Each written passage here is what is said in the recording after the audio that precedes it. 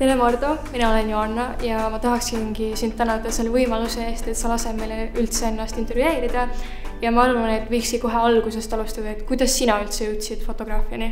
tere, Joanna, väga meeldiv. kuidas ma jõudsin fotograafiani? no see oli päris kaua aega tagasi, see oli kolmteist aastat tagasi. ja kui ma pean, ma pean tunnistama, et see oli minu elus äh, täielik äh, kannapööre päevapealt otsisin kooli, kus saab õppida, kandideerisin, läksin kooli. ja, ja nii see saigi alguse.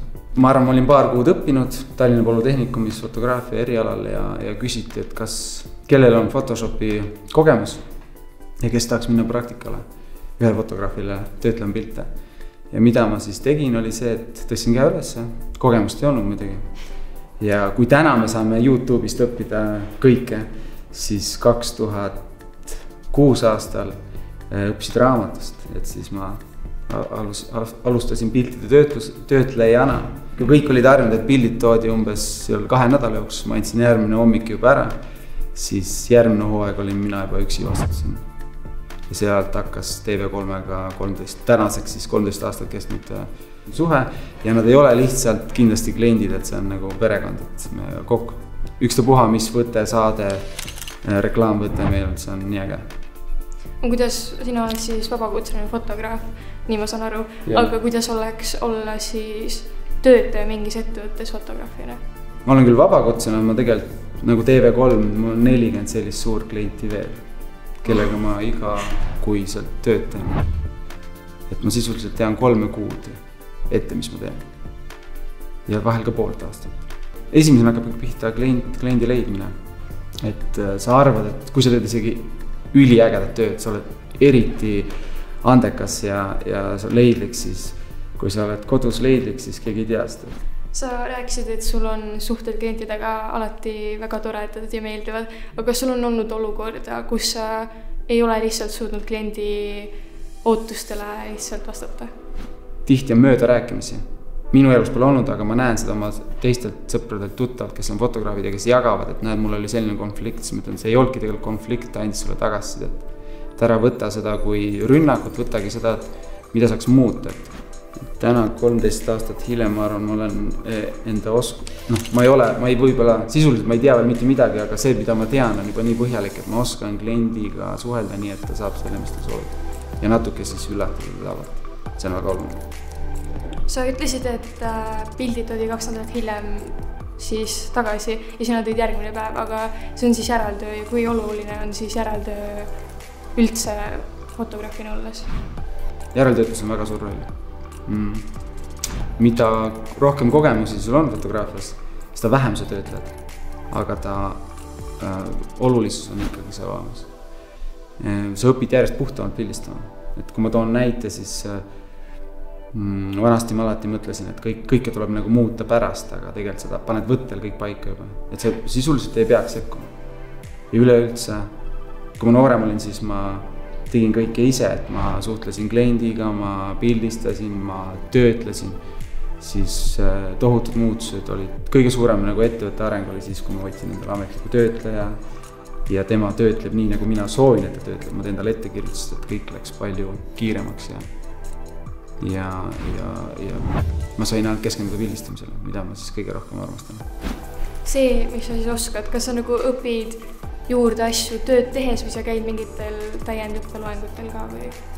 iga nädal ma põhimõtteliselt äh, ühe päeva, niisugune vana ütlus on, et kirjutan korstnasse, ma tean, palju see päev mulle maksab, aga ma otsin endale kas sinna mingi koolituse, kas ma vaatan mingit õppeasja reeglina programmid on head, sest siis sa pead sinna lihtsalt sisse minema, sa ei saa niimoodi, et ah, ma täna ei tee.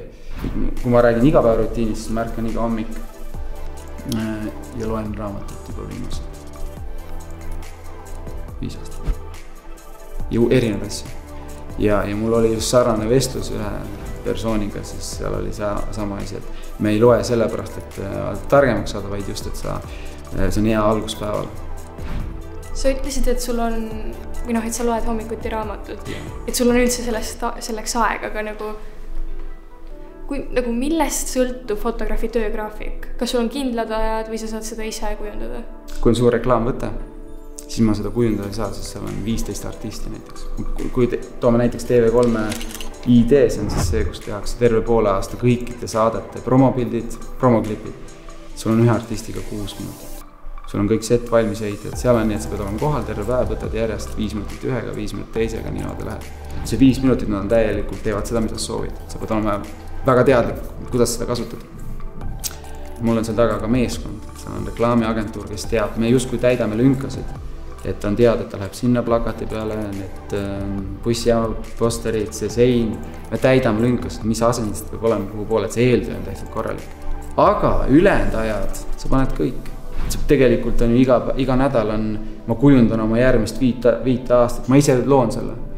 ja sealjuures on hästi oluline kliendil alati vastata mitte neid asju, mida ta tahab kuulda, vaid mis on reaalsus igapäevaselt võiks üle oma varju hüpata, aga mitte nii, et kliendi arvab, et klient, see kõik peaks toimuma su sees, et sa arvestad ja planeerid ja. kust sina saad oma inspiratsiooni või kas sul on eeskuju?